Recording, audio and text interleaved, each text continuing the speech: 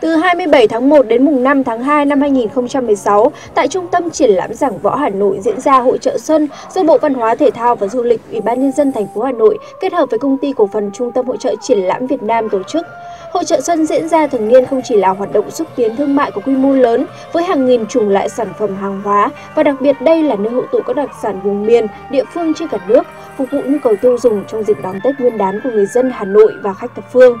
Hội trợ cũng là một lễ hội văn hóa đậm đà bản sắc dân tộc với các hoạt động biểu diễn nghệ thuật truyền thống, trò chơi dân gian kết hợp với các nghi lễ tâm linh mỗi độ Tết đến xuân về.